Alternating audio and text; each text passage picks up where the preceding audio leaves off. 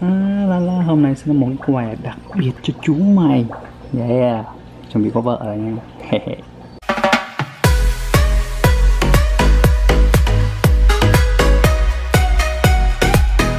Hello, xin chào mừng các bạn đã quay trở lại với channel của mình trong ngày hôm nay. Hôm nay thì à, mình mới đi mua một vài em cá Và mình cũng mua à, một em vợ cho em cô kiện của mình. Thì các bạn biết á, em cô kiện của mình á thì à, mình nuôi ở trong cái hồ 20 gallon mà mình để trên cao này với cùng mấy cá mái beta một chút của mình đó. Thì giờ mình đã chuyển ra hết ra ngoài kia rồi. Và con cua thì mình đã chuyển xuống dưới đây. Đây các bạn xem luôn. À, một số bạn cũng nhắn tin hỏi mình là lâu rồi không thấy nói về em cua kiện này không biết em nó sao. Thì đây các bạn. Thì à, mình mới bỏ em này cua kiện xuống được có ngày à. Đó, nên nó hơi lạ chút xíu nó không có được tự nhiên lắm. Và à, nãy giờ các bạn nghĩ tại sao mình lại để cục đá như thế này? Lý do là mình muốn để cho em cua kiện này của mình á trèo lên đây để cho nó đớp oxy. Tại vì cua kiện nó sẽ không bao giờ mà nó ở dưới đây. Không thật sự là sẽ có một lối số loài nó sẽ ở dưới được.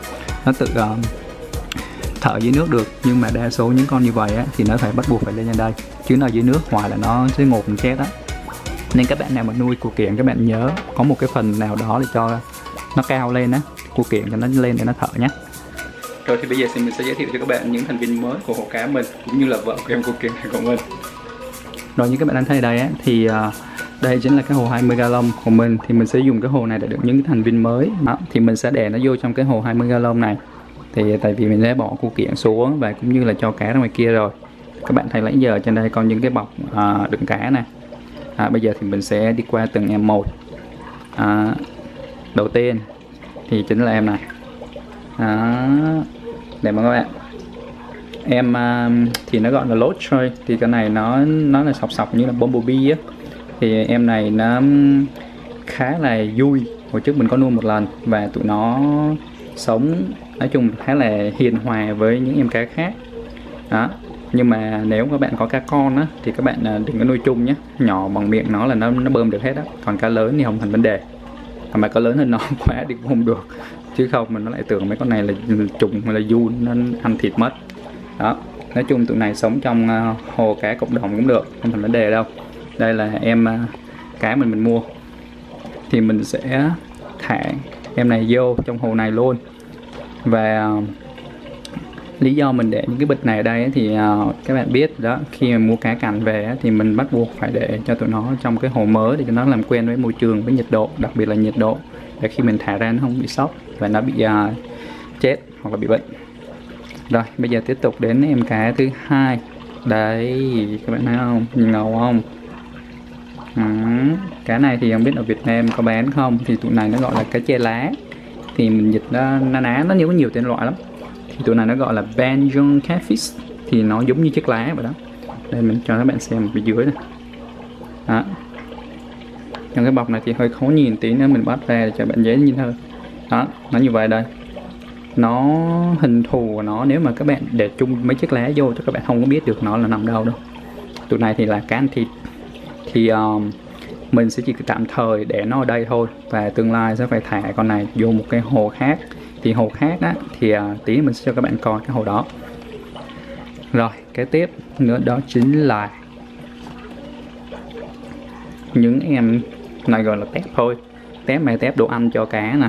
Thì lý do mình mua mấy em này về á thì chủ yếu mình muốn nơi cho chung cho vui với à, những à, em cá mật tạng của mình rồi hồ ốc với em tôm kiệm của mình. Mình muốn nuôi chung trong đây nè. Đó. Giờ mình sẽ để đây luôn rồi đến cái thành phần chính ngày hôm nay. Thực sự là hứa với em của kiện của mình khá là lâu rồi. Bây giờ mới có đây chính là một em cua mái cùng giống với tụi với em đó. Đó thấy không? Mới mua đây. Thì em này á nó rất là dễ phân biệt cái tụ này á. Thì các bạn nhìn thấy hai càng đó không? Rất là nhỏ. Nó không có bự như là cái con cua kiện kia. Con cua kiện trống á, thì các bạn thấy nha. Các bạn thấy cái càng đó không? Đó mỗi càng to mỗi càng nhỏ. Còn riêng cái mà à, con trống à, con mái thì nó chỉ có một hai càng nhỏ thôi. Còn nếu mà bạn nào mà mua những loại cua kiện mà mà hai càng đều bằng nhau á thì các bạn nhìn như đây nè. Để mình cho các bạn xem. À, các bạn thấy cái yếm của nó không? Yếm của con cá con cua của mái á. À, nó hơi mở ta. Để mình à, quay góc này cho nó dễ. Quay từ dưới lên đi. Cho nó dễ thấy nha. Rồi. À, vẫn không có phô cờ được ra thôi để mình nói luôn đi. À, thì à, khi mà các bạn mua những loại cua kiện mà nó giống nhau về càng á thì à, các bạn chỉ cần nhìn trên cái yếm của nó. À, dưới đây thì để ho hơn là hai cái yếm không? Hình tam giác này cái nó nó là cái yếm cái bụng nó. Thì nó sẽ có hình tam giác. Còn con trống á, thì nó chỉ có giống như à, một cái đường thẳng thôi. Đó đó là cái cách phân biệt để nhìn những em cua này. Đó. các bạn nhớ này không? Cái hồ này á, là cái hồ mình bảo mình làm thí nghiệm để nuôi uh, uh, bọ nước. Đó và mình đang thí nghiệm một số loại bèo đó để nuôi trong hồ này trong nhà. Thì uh, nếu mà để không như vậy ấy, thì nó hơi phí. Mình tính là để um, nuôi uh, từ từ mình cho cái đèn vô cho các bạn nhìn cho nó đẹp và cho nó dễ thấy. Không có đèn thì nhìn hơi tối đây. Rồi đó. Thì cái hộ này á mình á thì mình chỉ tính để không. Úp úp úp úp. Trời ơi. Tay nẹt không sao bịch này khá dài. À, thì cái hồ này á thì ờ, nếu mình nói là mình chỉ tính để nuôi bọ nước thôi. Và mình chỉ nuôi ờ, uh, bèo và thí nghiệm một số cái mà mình đang làm bây giờ. Nhưng nói chung mà giờ mình chưa nói ra được và mình thấy để như vậy thì nó hơi trống nên mình đã quyết định là đi mua những à, em cá này để thả ở đây. Mình không có dám mua những con cá như là cá cái cái cá moli hoặc cá bể màu. Thì có thể một số bạn coi thì sẽ nói là ở tại sao không mua cá bể màu để cho cho đẹp? Tại vì trong đây mình nuôi bọ nước. Mình đang thí nghiệm nên mình không thể là cho những con mà nó chuyên gia đi thích ăn mấy con đó. Còn cái con này á, thì nó lại ăn những cái con đáy. Nó không bao giờ mà nó dí được những con bọ nước mà nó ăn. Nên mình không có thành sợ. Đó. Nên mình mua con này mình để cho đây cho nó có sinh động chút xíu chứ để không thì cũng hơi phí. Rồi thì bây giờ mình tiến hành à, bỏ nó vô luôn. Thì nãy giờ mình đã để à, cái à, bịch cá này vô trong cái hồ kia. Hồ kia thì nhiệt độ của hai hồ nó giống nhau. Đó nên bây giờ mình có thể thả cá vô mình không sợ. Ok ờ, thả cá vô thì bây giờ vậy đi. Nó có cái này hơi vướng. Đụng nó qua xíu. Rồi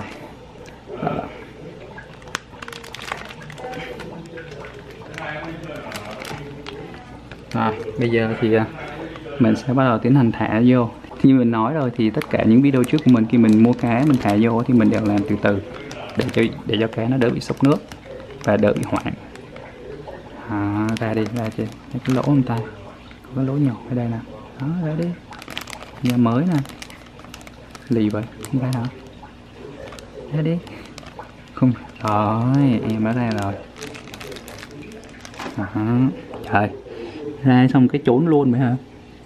Vừa mới chấp hết cái cái tụi này.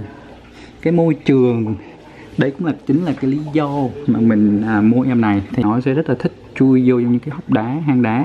Tại vì đồ ăn thích của nó là những con à, giống như trùng huyết hay là trùng chỉ hoặc là con gì mà bò với đây là nam đó nên mình để đá đây á, thì à, nó là thích nên vừa mới cho vô là mất luôn. Kiểu này không biết bây giờ mới thấy được em nói lên đây. Chắc tí phải cho nó ăn thì nó mới thấy được. Tính là cho các bạn xem á là khi mà thầy em nói vô á thì à, xem giống như là cái động tác giống như là mua nhà mới thì như thế nào mà nhanh quá không không quay được. Thôi bây giờ mình quay lại mấy em kia. Rồi thì bây giờ mình sẽ tiến hành thả em à, con cá cá tre này đây. Ý dạ, cái tên lạ quá tên gì? Ba giang ba giang gì đó. Như tụi này ở, ở um, châu phi à. Khá là giống. Đó mình có thể từ từ luôn. À, mai mốt mình sẽ thiết kế lại cái hồ này. Mình sẽ làm cái nền màu trắng là bằng cát đó để mình nuôi những em cá nào ăn ăn thịt ăn mồi á. Săn mồi trong đây hết. Ra đi. Trời ơi con này mà nó bám vô trong rác. Rồi. Uhm. cái này thì họ chạy gì đâu nha. Cho các bạn xem luôn. Hồ đâu mất tiêu à? rồi hồ cái góc này. À, vậy thì hơi khó nhìn thấy. Đây. À, để cho mình không thấy chúng mình. Mình cho nó lên được không ta? Cũng hơi ờ, uh... ổ này dễ chịu người ta. Không có muốn chạy luôn. Đó. Có dễ chịu rồi. Đó. Ồ đụng vào nó cái nó kêu giống như chuột. Nó kêu giống như chuột. Cũng khá là hiền. Đây. Ừ. Không có nuôi chỗ này quen á. Nên không biết không phải nó tình trạng sốc nước của nó là sao. Đó hay ghê. Đó, khá đẹp. Các bạn thấy không? Giống y như là chiếc lá vậy đó. Đó đó, từ này thì nan cá nhỏ. Đó nó bám được như vậy là các bạn thấy ghê không?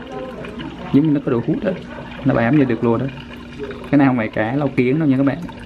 Để gần để bạn xem luôn.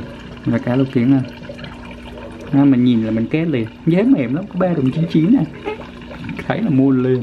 Tại vì đâu giờ thấy mấy cái loại này bây giờ đâu. Đó rồi tạm thời cứ ở về đi nha. Bữa nào tao sẽ thiết kế lại cho nhà mới mày. Và cho vài em cá nữa được rồi thẳng rồi các bạn yên tâm nước này mình đã kiểm tra rồi. Đo hết rồi với thả vô á thì đâu có dám đề tầm bậy. Rồi bây giờ thì à, mình sẽ tiến hành thả em cua này vô gặp chồng tương lai của nó. Rồi để vô đây luôn à, đây thì có cái bọc để đỡ cái dây thun này chả hiểu sao mấy cái này thì à, cột không có dây thun riêng cái này nhưng cột dây thun chả biết nữa. Hai cái bọc này bị xì rồi. Chắc vậy à. rồi. Cua thì um, không cần phải kỹ lắm tại vì uh, tụi nó uh, giáp cứng mà. Chỉ có nhiệt độ quá sốc quá mạnh thì nó cái này mà ồ có con ốc táo con nó bị dính lên đây bắt ở đây. Rồi. Đây rồi xuống. À, dưới đây có chai nữa à, trời rơi xuống từ từ từ từ từ từ ấy chứ. À được. Rồi. Rồi xong. Trời vừa mới xuống cái là nó ăn luôn. Có hả các bạn không? Đói nước vừa mới xuống giống như ở chỗ đấy không cho nó ăn. Vừa xuống cái nó nó nó nó kẹp một con ốc táo ăn kìa. Ê ê ê ê, ê. đừng có nói là mấy mốt mà ốc táo mà tao trong đây có đồ ăn đấy mày. Này các bạn thấy không? Mình quay gần cho các bạn xem. Đó, vừa mới vô cái nhưng là bắt một em ốc táo bỏ lên tay liền. Ê đừng giỡn nha. Trong đây ốc táo con nhiều lắm nha. Đồ ăn trong đây là vô tư á. Chứ đừng cho vô cái là guốc em ốc táo là không được nha. Coi coi coi. Nhìn nó sẽ biết liền mong ăn được ốc táo đâu ốc táo nó cứng lắm. Rồi gặp mà chồng tương lai đi kìa. Rồi mày gặp vợ luôn đi. Qua bên kia qua bên kia hôm ờ, qua à? Che em mới xấu à? Người ta tuyển lựa vợ đẹp lắm á đừng dở à, nói chung chắc nó hơi nhát vì chưa quen được cái môi trường. À, mấy em à, cái của mình cũng cuội ghê không? Vô cứ đó đó gặp nhau không biết có đánh nhau không này nữa. À, cái kia chắc các bạn sẽ thấy thắc mắc đó chính là cái miếng dưa leo. Dưa leo thì mình hay thả vô để cho tụi ốc này nó ăn với lại cá thích ăn dưa leo nữa. Nhưng mà các bạn nhớ khi mà các bạn thả dưa leo vô á để khoảng chừng à, nếu xiên nó để khoảng chừng ngày sáng thả chiều vớt ra. Còn nếu các bạn đóng một lọc thì các bạn để hai ngày cũng được. Hãy vớt ra không mất công ăn không hết nó bị uh, giống như cái lớp màng màng á bị hư á. Vớt ra nha các bạn. Trời ơi nó kẹp kìa bạn nào? Trời ơi nó, nó trời thôi tiêu rồi. Nó, nó mổ xẻ con ốc táo của mình ghê quá. Đó đó bạn nào? Đó, đấy. Chết bà đừng giỡn chứ. Trời ơi. Đói đến mức đó rồi ta đúng rồi. Nhìn cái nhìn cái nhìn cái nhìn tay nó kìa. Thôi chết. Cái này phải cho nó ăn gấp này cái kiểu này trong đây mình có nhiều ốc táo con đó mà để vào nó bật hết ốc táo mình là hơi phiền á.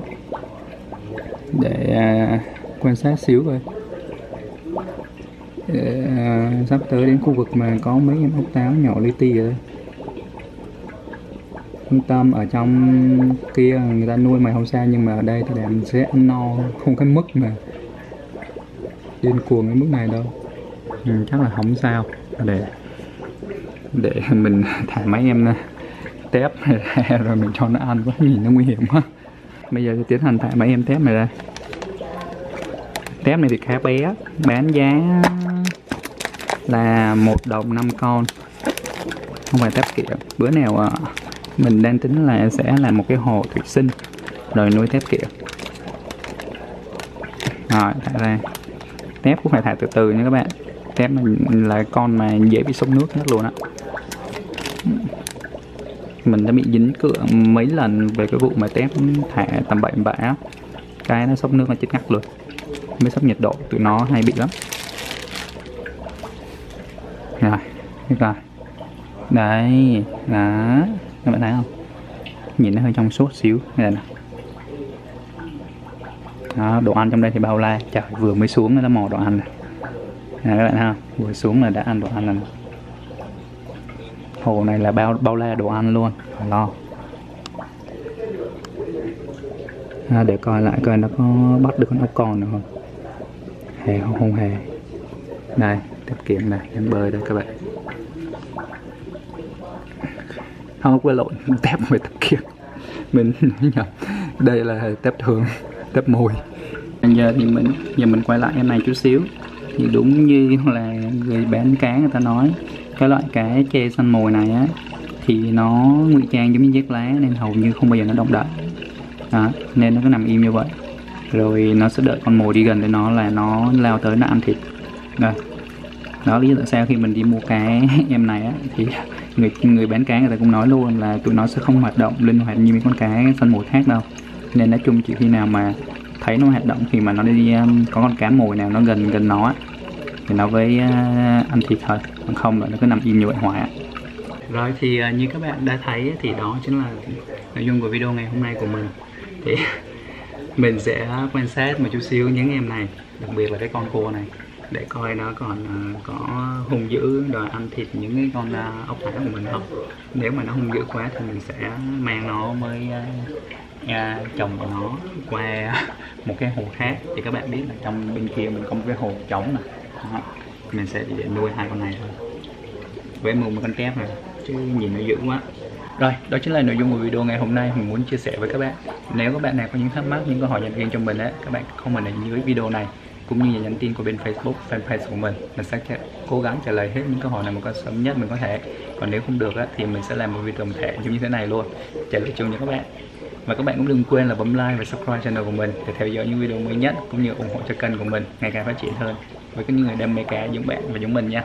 Rồi, chào tạm các bạn và hẹn gặp các bạn trong một video mới nhất.